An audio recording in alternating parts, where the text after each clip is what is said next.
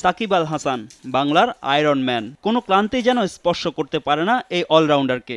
জাতীয় দলের ব্যস্ততার কারণে প্রিমিয়ার লিগ খেলা হয়নি। তাতেই প্রথম পাঁচ ম্যাচ হেরে বসেছে সাদা কালোরা।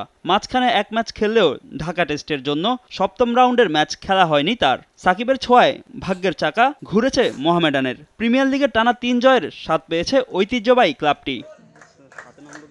বিকেএসপির তিন নম্বর মাঠে টসে জিতে মোহামেডানকে ব্যাটিংয়ে পাঠায় সিটি ক্লাব। তবে শুরুটা ভালো করেনি ইমরুল কায়েসের দল। দলীয় উনিশ রানে প্রথম উইকেট হারায় তারা। মোহাম্মদ আসিফ হাসানের শিকার হয়ে প্যাভিলিয়নে ফেরেন ইনফর্ম রনি তালুকদার।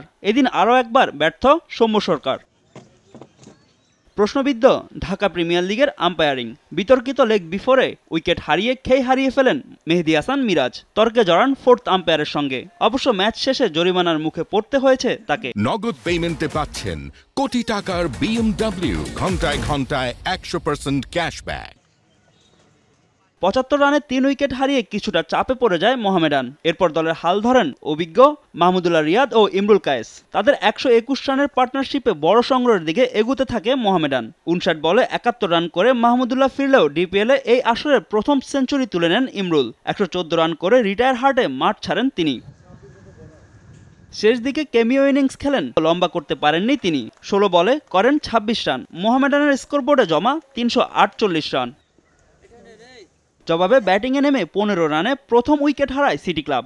দশ রান করা জয়রাজ শেখকে এলবিডাব্লিউর ফাঁদে ফেলেন সাকিব আল হাসান। লিন্টট ও মিরাজদের বোলিং তোপে দাঁড়াতে পারেনি সিটি ব্যাটাররা। পঁচাশি রানে চার উইকেট হারিয়ে চাপে পড়ে যায় সিটি। এই চাপ আর কাটিয়ে উঠতে পারেনি তারা। নির্ধারিত ওভার শেষে সাত উইকেটে দুশো সাতচল্লিশ রানে থামে সিটির ইনিংস।